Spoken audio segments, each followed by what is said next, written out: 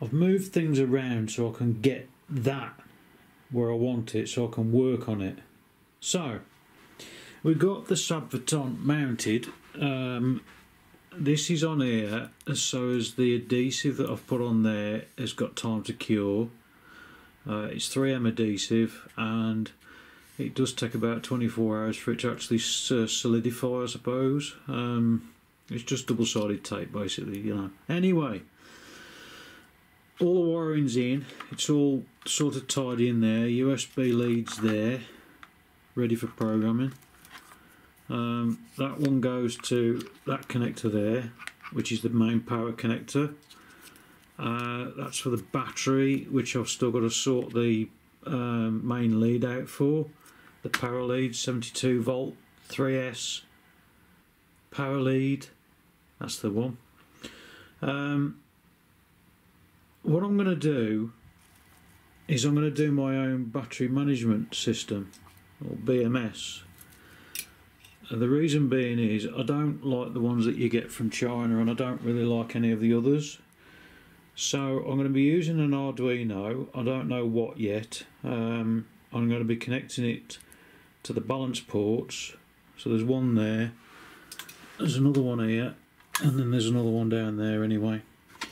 And I'm going to have an LCD of some kind or an LED, OLED, I don't know. I'm going to put it up there.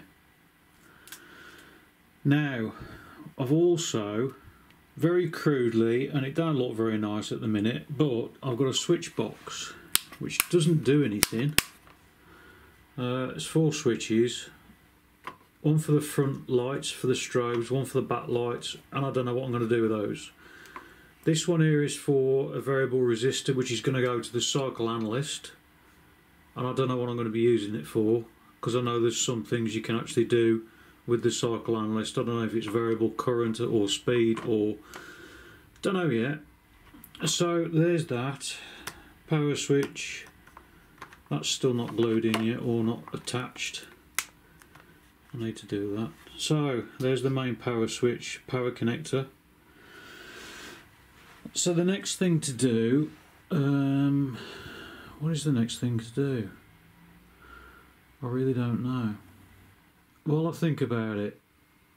There's a lot of people who said to me, why don't you get the Stealth B52 or why don't you go and get the Enduro frame? Uh, the reason why is I don't want to. Number one, I like building things and I like building things the way that I want it. This is going to be how I want it. I'm thinking of putting a cowling across there as well. Um, I've still got to put some cowling underneath to protect the bottom of the batteries. Anyway, the B52 or the Stealth uh, and the E uh, Enduro frame, number one, they are too bloody heavy. I have to carry this up two flights of stairs. I can't carry those because they're over 50 kilo fully laden. And this weighs in at under 40 kilo. So, and I literally, I have to grab it with the back wheel one hand, put the end under the bars, and lift it like that, and carry it, literally carry up two two flights of stairs. So no, I'm not going to get the B52, the the Stealth, or I'm not going to get the Enduro frame. Never, unless I can move into a ground floor or something. So anyway, um, I think the next thing I'm going to do is I'm going to do the power lead, the balance, not the balance lead, the series lead for the three batteries. So I've got to route it so as both of the wires come up here, so as they plug into that. Yeah, that's the next one. And then I'll plug it in and see what happens. Fingers crossed. I've got these uh, these red LEDs that I've had for a long, long time. They're 10 watt red LEDs and I've designed this uh, thing that sits obviously on the frame and it's angled so as the LEDs point backwards. Now this is a zip tie, all you do is just thread it through there. There's actually a, a channel for it to go through, you thread it through there, you pull it tight and job's a good one. So here's the wire, that's just the power wire which is going to go up to the front up to the top on that switch box. So I'm going to put the other one on and then I'm going to wire it up. Oh, lots of wires. I hate wires. What we've got here is, um, yeah, where are we?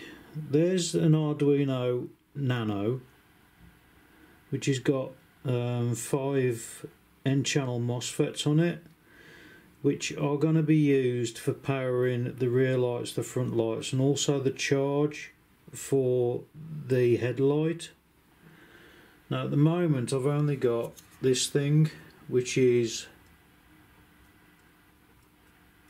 that's all it does. Now that's all I've got at the minute. I'm looking for a, a bigger headlight. I don't know yet, but I'm skint. So all I've got is the USB cable going into that so it will charge that because I'm always forgetting to, char uh, to charge it. So one of those MOSFETs goes to that.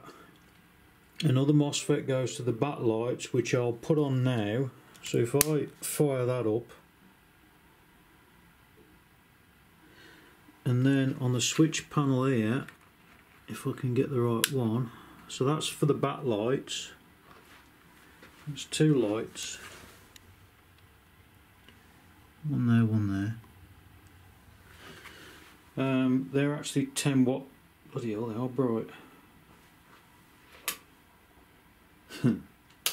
They're 10 watt uh, red LEDs 12 volt now the other switch, which isn't wired up yet, is going to go to the front, and this one here, is that one, that goes to that. So that's actually, you can see it's charging now. So that'll make sure that's always charged. Um, turn that off. Sugar. Turn that off. So that's everything off now. So that's how far I've got. Um, I've still got a print for the handlebars. I've still got to print the mounts for the front LEDs, which are going to be white 10 watt LEDs. Uh, the headlight goes there, obviously. Where else would it go? Um, that's heat shrink ready for tidying all this up, all this wiring. So what I've got to do now is wait for those to print wait for my printer to do the bars, bar bits, and then I can wire the rest of the lights up. And then I think when all this is in place, if I can get it in place, it should be nearly done. I finally got the switch panel wired up and working. Uh, that one's for the front lights, that one's for the back lights, that one is going to the cycle analyst for the um, the auxiliary pot, but I don't know what to use it for yet. That one is for charging the headlight, and that one don't do anything. It's connected, but it just doesn't do anything at the minute. So when I flick the power, we plugged in yet, and I put that light on. Well, that should be for the front, not the back. We've got the two strobes on the back. And then when I flick that one, we've got the ones on the front.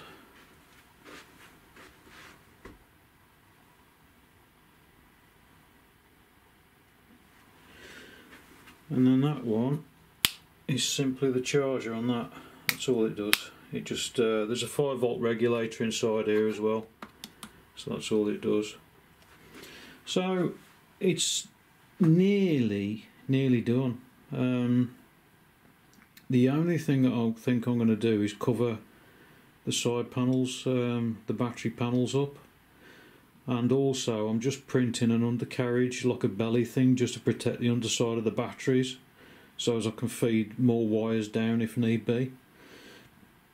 But apart from that, and I've got to sort this wire out. I've got to sort the um, I've got to get this in series with the three wires um, hide these somewhere don't know where yet uh, and also I'm working on a battery management thing that I connect to those. I think I mentioned it before.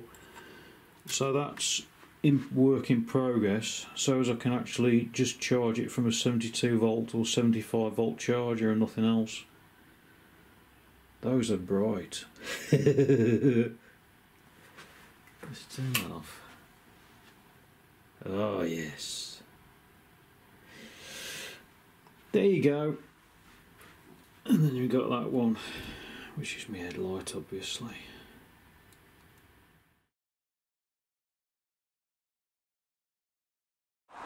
The acceleration is brutal.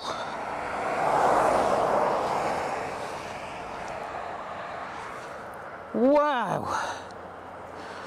Oh.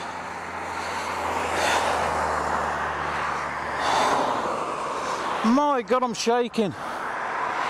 I am actually shaking.